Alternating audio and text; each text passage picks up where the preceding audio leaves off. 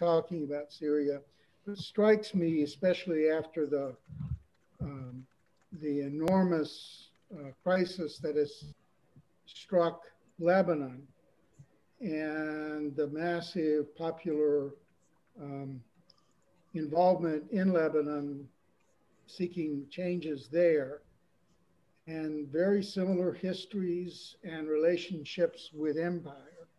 I wonder if there's any way that Lebanon and Syria could together seek a better future, reconstruction, um, you know, a stronger relationship moving forward. I realize the history has, mainly because of imperialism, has uh, been tricky between the two countries. But I wondered if there's any hope uh, moving forward together.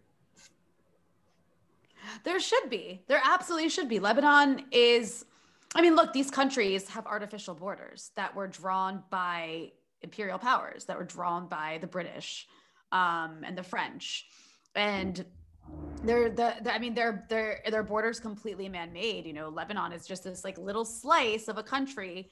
It's like a port country um, on the Mediterranean Sea, and Syria is way bigger. And together, they could have everything they need. I mean, Lebanon has the ports, right? Uh, Syria has productive capacity. It has like a labor force. It has factories. You know, until the war on Syria, uh, the last 10 years, Syria was self sufficient in producing its own medicines. Now it has to import everything. Um, but, you know, it, it has factories, pharmaceutical factories. Um, it, you know, makes its own clothes, its own shoes. You know, Syria was famous for making its own socks that they would like import or they would export to Turkey. Uh, they grow their own food. Um, Lebanon has, you know, this banking infrastructure that's obviously collapsing right now, but it could be useful uh, for financial reasons. And, you know, until the Beirut port blast, a lot of what was going into Syria was coming in through the Beirut port. So these countries should be able to have a normal relationship and work together regionally. And I'm not just, I mean, not just Syria and Lebanon, Iraq as well. You know, Iraq has great agricultural production and it's rich in oil, right? It has all, it produces all this oil. It has like the biggest oil reserves in the region.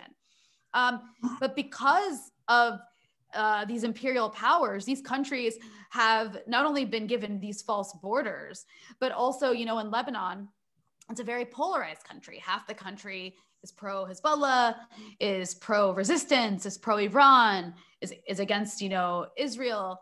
Um, the other half of the country is pro America, pro Saudi Arabia. Um, and this part of the this political i'm talking politically uh, not like the actual individuals of the country but politically the country is very fractured. And this uh, side of the the uh, political parties in lebanon that you know work with the united states and work with the saudis are obstructionists when it comes to uh, working with the Syrians. They are basically just tools of the Americans.